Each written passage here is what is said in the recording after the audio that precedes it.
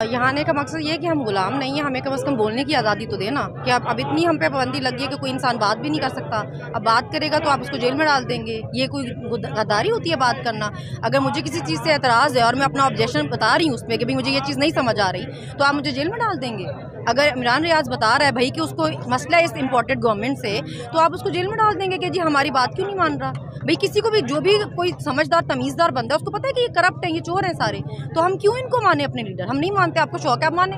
आपने सलूट करने आप करें हम नहीं करते हम क्यों माने? ज़बरदस्ती है कोई। लेकिन ये जो करप्ट है इनको सपोर्ट कौन कर रहा है? और अभी इमरान रियाज के खिलाफ ये सारी कार्रवाई हुकूमत कर रही है इस्टेब्लिशमेंट ये इनको सपोर्ट सारे जाहिल करते हैं। इस मुल्क में सबसे बड़ी जो आ, सबसे बड़ा जो गंद है ना वो इनके सपोर्टर्स हैं जिन्होंने इनको इतना लूटने तक का मौका दिया है इन्होंने अपनी इतनी प्रॉपर्टीज़ बना ली हैं और जो उनको सपोर्ट कर रहे हैं ना वो इस्टेब्लिशमेंट हो या कोई भी हो उनको शर्म आनी चाहिए।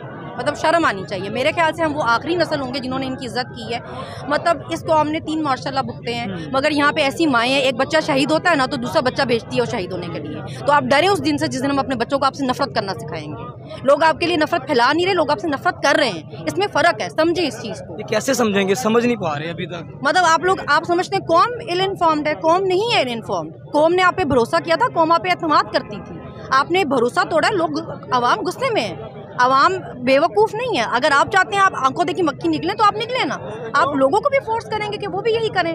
हम क्यों करें? हम आपकी इज़्ज़त करते रहें, आपको टैक्स दे दे के पालते रहें और आप हमें बताएँ कि हम बोल भी नहीं सकते। हम बोलेंगे तो आपकी शान में गुस्ताखी हो जाएगी। आप कैसे इतने मोतबर हुए और हम इतने कैसे बेवकत हुए कि आपको पाल के भी सारे टैक्स दे के भी और हम कुछ नहीं कह सकते और आप सब कर सकते हैं। आप कर जाएँ और हम कहेंगे भी ना। मुझे ये बताएँ कि ये कितने मुहब वतन सहाफ़ी पर गद्दारी के बीस मुकदमात हो गए।